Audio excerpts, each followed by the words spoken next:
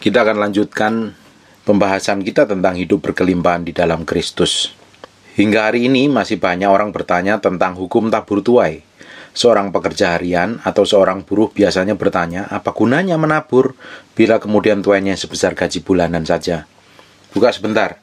Di 2 Tesalonika pasal yang ketiga ayat 10 sampai 12.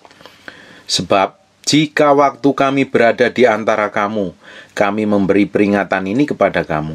Jika seorang tidak mau bekerja, janganlah ia makan. Kami katakan ini karena kami dengar bahwa ada orang yang tidak tertib hidupnya dan tidak bekerja, melainkan sibuk dengan hal yang tidak berguna. Orang-orang yang demikian kami peringati dan nasihatin di dalam Tuhan Yesus Kristus supaya mereka tetap tenang melakukan pekerjaannya dan dengan demikian makan makanannya sendiri. Dalam beberapa waktu terakhir, saya mendapati bahwa banyak orang melakukan hal seperti ini. Orang-orang yang sama sekali tidak mau bekerja untuk mencari nafkah untuk kehidupan mereka sendiri. Seringkali setelah mereka berumah tangga, yang menjadi korban bukan diri mereka saja, tetapi istri dan anak-anak mereka yang menjadi terlantar. Mereka aktif dalam segala hal, aktif di gereja, di dalam pelayanan, sibuk di sana, sibuk di sini, tetapi mencari nafkah bagi kehidupan mereka sendiri justru tidak mau. Kita sudah pelajari dan Alkitab mengatakan orang yang tidak mau bekerja tidak usah makan. Alasannya mudah saja, karena orang tersebut tidak mendapatkan pendapatan oleh sebab ia tidak bekerja mencari nafkah. Alkitab juga menyebutkan, supaya menyelesaikan pekerjaan Anda di ladang, baru membangun rumah Anda. Ini berarti Tuhan mengatakan kepada kaum muda, bekerjalah terlebih dahulu, hasilkanlah sesuatu di ladangmu, panenlah sesuatu yang baik, barulah membangun rumah tanggamu.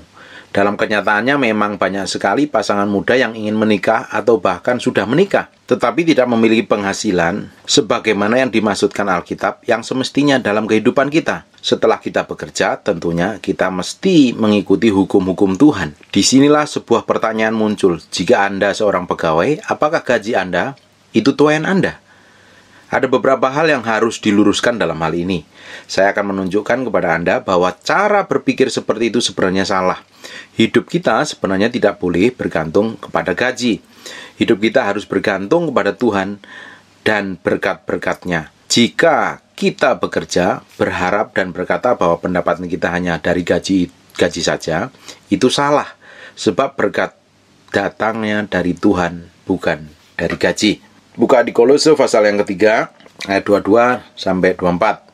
Hai hamba-hambaku, hai hamba-hamba, taatilah Tuhanmu yang di dunia ini dalam segala hal. Jangan hanya di hadapan mereka saja untuk menyenangkan hati mereka, melainkan dengan setulus hatimu seperti untuk Tuhan dan bukan untuk manusia. Kamu tahu bahwa dari Tuhanlah kamu akan menerima bagian yang ditentukan bagimu sebagai upah. Kristus adalah Tuhan dan kamu hambanya. Bila kita memperhatikan, tertulis jelas bahwa dari Tuhan kita menerima bagian yang ditentukan bagi kita sebagai upah. Jadi, upah kita itu berasal dari Tuhan. Sementara gaji adalah kewajiban atasan atau pimpinan kita untuk membayar jam kerja kita. Tetapi gaji bukanlah sumber dari keuangan kita. Sumber dari segala upah kita haruslah Tuhan. Oleh karena itu, jika kita bekerja, lakukanlah seperti untuk Tuhan. Dengan demikian, yang akan mengupah kita bukan lembaga atau institusi yang selama ini menggaji kita, tetapi banyak orang yang hatinya berpaut pada lembaga yang menggaji, apakah itu bentuknya gereja, perusahaan, atau institusi lain, mereka mengatakan institusi institusi itulah yang menggaji mereka. Tetapi Alkitab mengatakan upah kita dari Tuhan bukan dari manusia. Artinya, jika kita mempercayai Tuhan yang mengupah kita, maka yang kita terima tidaklah terbatas oleh gaji kita semata-mata. Tuhan sanggup membukakan pintu berkat yang luar biasa dari sum berbagai sumber, bahkan dari yang tidak kita duga sekalipun. Dia sanggup memberikannya kepada kita. Oleh karena kita kerja segenap hati seperti untuk Tuhan, dan Tuhanlah dari Tuhanlah upah kita bukan dari manusia. Buka sebentar di Efesus pasal yang kelima, pasal yang keenam, ayat 5 sampai 8. Hai hamba-hamba, taatilah Tuanmu yang di dunia dengan takut dan gentar dan dengan tulus hati, sama seperti kamu taat kepada Kristus. Jangan hanya di hadapan mereka saja untuk menyenangkan hati orang, tetapi sebagai hamba-hamba Kristus dan dengan segenap hati melakukan kehendak Allah dan yang dengan rela menjalankan pelayanan seperti orang-orang yang melayani Tuhan, bukan manusia. Kamu tahu bahwa setiap orang, baik hamba maupun orang merdeka, kalau ia telah berbuat sesuatu yang baik, ia akan menerima balasannya dari Tuhan. Bayangkan bahwa dua jemaat di tempat yang berjauhan, Paulus mengatakan hal yang sama. Ini berarti Tuhan memiliki pesan yang kuat. Balasan dari perbuatan atau pekerjaan kita bukanlah gaji kita, bukan dari pimpinan kita di dunia ini, tapi datangnya dari Tuhan. Jadi, Allah yang mengupahi kita, Tuhan juga yang akan memberikan kita balasan atas semua hal yang baik yang kita kerjakan. Jadi, jika Anda yang sekarang bekerja berkata, "Ini adalah pekerjaan Tuhan, perusahaan milik Tuhan, pabrik milik Tuhan, aku taat demi Tuhan," kerjakanlah dengan segenap hati, maka nantinya bukan hanya pemimpin di tempat Anda bekerja yang akan menggaji, yang akan menggaji Anda, melainkan Tuhan juga akan mengupahi Anda. Tuhan memiliki seribu satu macam cara untuk memberkati Anda. Berkat itu bukan hanya dari sumber gaji, tapi ia membukakan sumber-sumber lainnya. Bagaimana sikap hati kita sebagai seorang pekerja Kristen?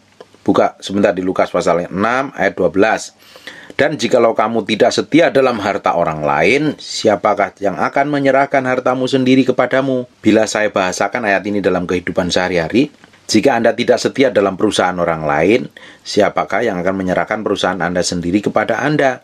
Atau jika Anda tidak setia bekerja untuk toko atau restoran orang lain, siapa yang akan menyerahkan toko atau restoran itu kepada Anda?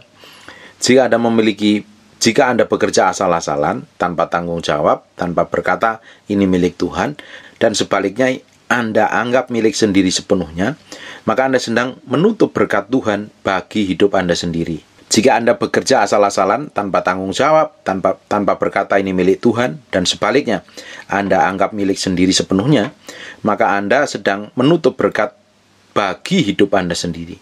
Seharusnya bila orang percaya bekerja harus sebaik seperti Yakub atau seperti Yusuf. Ke mana pun mereka bekerja, berkat Tuhan menyertai mereka dengan luar biasa, sehingga menyukakan pimpinan mereka.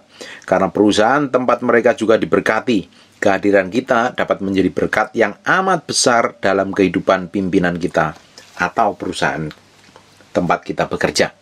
Kejadian pasal yang ke-30 ayat 25 sampai 30.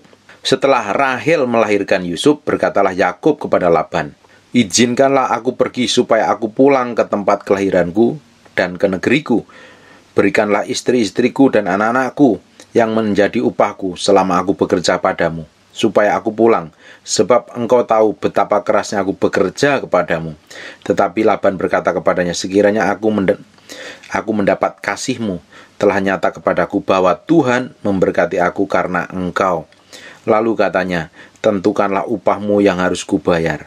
Maka aku akan memberikannya. Saud Yakub kepadanya, Engkau sendiri tahu bagaimana aku bekerja kepadamu dan bagaimana keadaan ternakmu dalam penjagaanku. Sebab harta milikmu tidak begitu banyak sebelum aku datang, tapi sekarang berkembang dengan sangat. Dan Tuhan telah memberkati engkau sejak aku bekerja di sini. Jadi, bilakah dapat aku bekerja untuk rumah tanggaku sendiri? Kita mengetahui bahwa Yakub menikah dengan dua anak Laban, yaitu Lea dan Rahel. Ketika Yakub bekerja untuk Laban, sangat luar biasa banyak hal yang dilewatinya.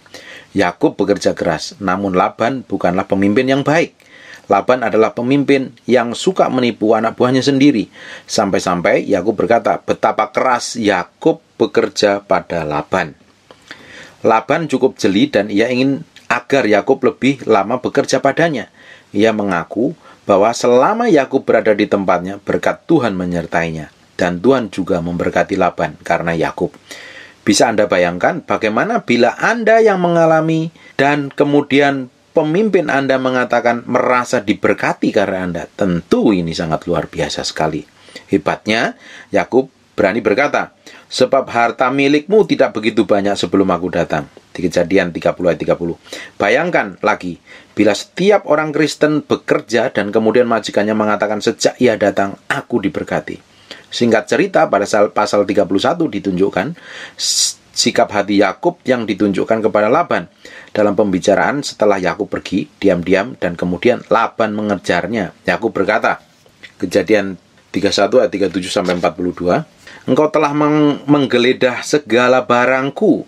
Sekarang apa yang telah ku, kau temui dari segala barang rumahmu?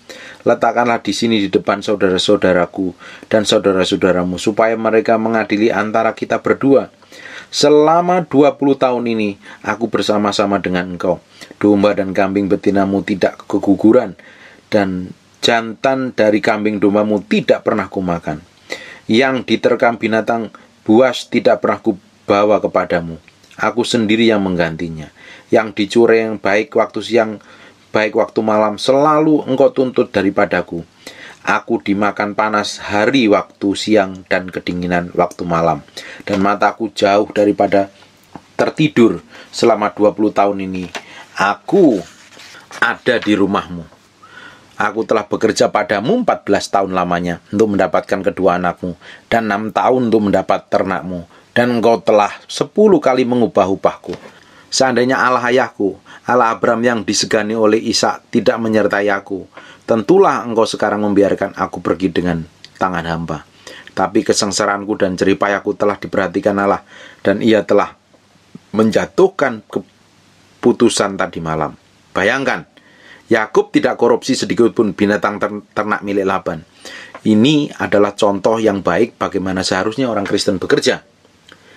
Di Kejadian 39 ayat 1 sampai 6, adapun Yusuf telah dibawa ke Mesir dan Potifar seorang Mesir, pegawai istana Firaun, kepala pengawal raja membeli dia dari tangan orang Ismail yang telah membawa dia ke situ.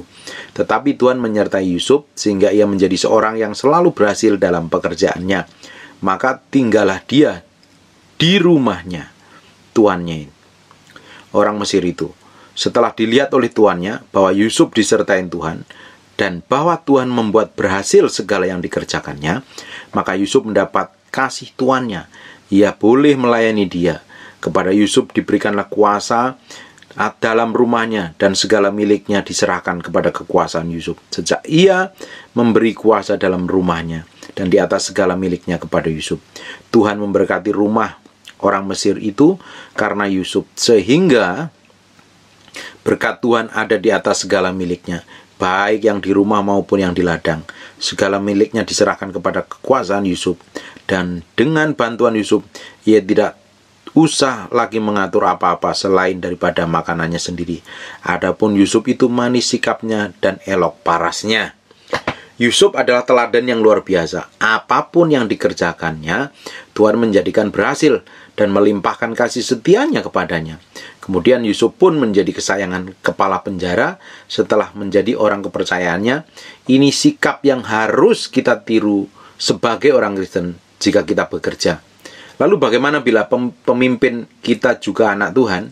Kebanyakan orang Kristen justru memanfaatkan keuntungan tersebut dengan banyak mengambil cuti, libur dengan alasan pelayanan atau alasan lain untuk tujuan pribadi. Tetapi saya berdoa, biarlah kita menjadi orang-orang yang bekerja dengan benar di hadapan Tuhan. 1 Timotius 6 ayat 2, jika Tuhan mereka seorang percaya, janganlah ia kurang disegani karena bersaudara dalam Kristus, melainkan hendaklah ia layani mereka dengan lebih baik lagi. Karena Tuhan yang menerima berkat pelayanannya mereka ialah saudara yang percaya yang dan yang kekasih. Ajarkanlah dan nasihatkanlah semuanya ini. Saya berdoa, jika Anda seorang pegawai, jadilah seperti Yakub dan jadilah seperti Yusuf ke mana anda pergi ke mana diberkati Tuhan ke mana apa saja yang anda kerjakan Tuhan berkati dan menjadi berkat bagi banyak orang. Amen. God bless you.